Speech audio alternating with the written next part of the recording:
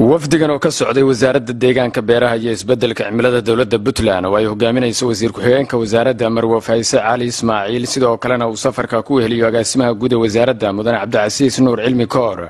Ayaa kormeer shaqo ku yimid degmada tambur saalex ee gobolka mudug.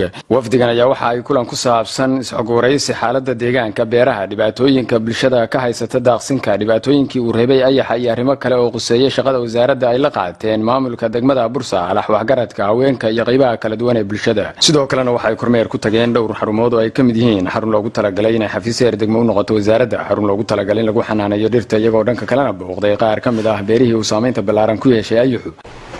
Aad iyo aad baan ugu mahad maanta ujeedka ay noo soo booqdeen waxaa weeye inay u kuurgolaan wacyigelin ay u sameeyaan dadweynaha deegaanka si ay maaragtay ula qaybsadaan xogta iyo macluumaadka ay sidaan insha allah ayaga ayaa inoo sheegi doona.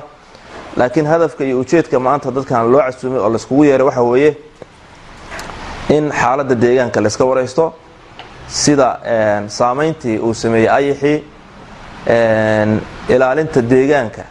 Oo runtii waayahan dambe ay aada iyo aada u badanayso jaritaanka dhirta iyo maaragtay xaalufinta dhirta saas darteed waxaan rajaynaynaa inaad ka qayb qaadan doontaan oo macluumaadka aada la wadaagi doontaan. Halkan waxaa ka soo baxana intiinaan waxaa la isku kun yeeray inaad noqotaan kuwa xambaara oo u gudbiya dadweynaha kale haddii ilaha idmo waxyaalaha marka la sheegay oo natural disasterka ah oo dabiiciga waxaa ka mid noqday masaa'ibta ayax. Waa meelaha waxyaalihii la xuso ka mid ahaa ayuxu sanawaad hore waa jiri jiray oo dadkii waaweyn oo soo gaaray qaarkood waa fadhiyaan. Laakiin intii hadda afartan sano miyaa lagu qiyaasay meelahaas. Waa waa labadii sano u dambeysay waa inala joogay. In badanoo marka aan wacyi ka haysan waa jirtay oo u haysta ama inuu barwaaqo keenayo ama u haysta inaanu dhib badan lahayn.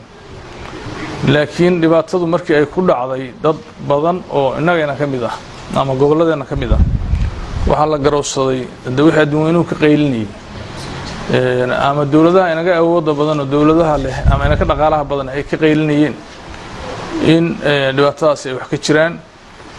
Meelaha ugu sokeeyahoo dhib ku taabtay degmadan gaalkacya baa ka mid ah iyo beeraleydeedii.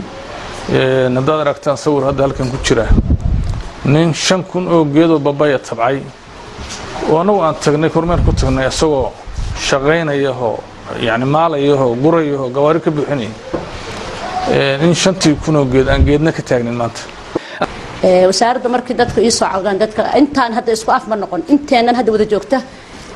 Qolana wasaaraddii iyo shaqadeeda waa taageeraysaa qolana waxay leedahay xoolihii waxbaa naga baaba'ay oo iska barabaqaandadii aan shala soo afjarnay oo kale baa taala. Oo dadka suuqa loo galiyey marka cabasha iga timaado aan dhahno wasaaraddii ha loo diro. Deegaankii dad si degdega emergency oo macnaha beerihii iyo saamayntii ayaxa dhibaatadu geysanayo oon wada ognahay inuusan xoolo iyo deegaan midna uusan reebaynin iyo daaq. Xooluhu daaqay cunaan oo ku nool yihiin bini aadamkuna waxay ku nool yihiin xoolaha. Ama caanaan ka cabnaa ama maxaan ku idhahdaa hilibkiisaanu cunnaa ama waa la suuq geystaa qofka oo noloshiisa kale ku maareeya intiiba hadduu waayo wax uu daaqo oo daaqi u daaqo ayax waxaad moodaa inaa halkaas naftirkayagu noloshii ay baaba'ayso.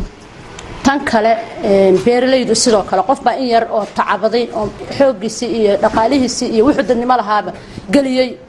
Rabana inuu ka faa'iidaysto bulshadiisii ilmihiisii dadkiisii baahi kaga baxo deegaankiina ugu faa'iideeyo oo loogaga shaqeeyo. Ayadiina haddii ay afka u dhigto gacnahan ka laabana waa ka harna waxaa leenahay baashaana wax dilaysa horta baashaan wax mama dilayso. Waxaa dhiiglayda waxa aan dhiigga lahayn bay dishaa bini aadamku dhiiggay leeyihiin mana dili karto. Xooluhuna dhiiggay leeyihiin ma dili karto. Marka ayax tag eelna reebbaa ina haysata waa inoo xabaalan yahay. Waxaan isu dardaarmaynaa insha allah inaanu haddii ilaahay idmo aan wada shaqayn gacmo wada jir wax ku gooyaan. Wasaaradda iyo ha wada shaqeeyeen deegaamada dhammaan mudug oon ugu baaqayo. Khaasatan hadda degmada bursaal waxaan maanta hor fadhino waxaan ka codsanaynaa inay wasaaradda la shaqeeyaan. Hadday tahay dhirta iyo xabad teleefonaad soo diri kadhaan gawaaridaad qaban kadhaan axmed daahir saalax mashaaciro puntland t v degmada bursaalax